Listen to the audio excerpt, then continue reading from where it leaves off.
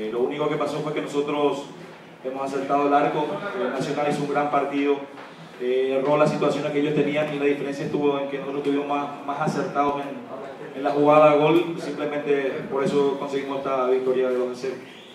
Eh, profe, bueno, buenas noches. Esta mañana hablábamos en el hotel y creo que el equipo se paró supremamente bien, todo lo que usted estaba pensando y aprovechó los momentos difíciles del cuadro Atlético Nacional. En el segundo ya el equipo aguantó y trató de contragolpear.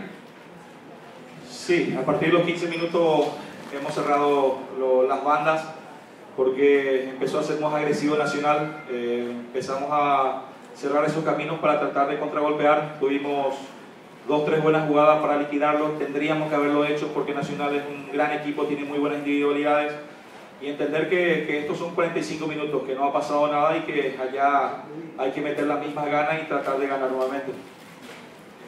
Muy buenas noches, eh, Bernardo, el saludo cordial. Pues Nacional tuvo realmente para lograr por lo menos un mejor resultado. Es que cuatro o cinco balones en el palo, eso para la historia del partido también debe contar. O sea, situaciones que ustedes analizan porque Defensa Nacional de pronto les desnudó también errores. Sí, así mismo, como, como dijo el profesor, creo que fuimos más acertados, estuvimos más acertados en el momento justo. Por suerte eh, se nos dio los goles y llevamos una linda victoria para Asunción, pero que se define ayer.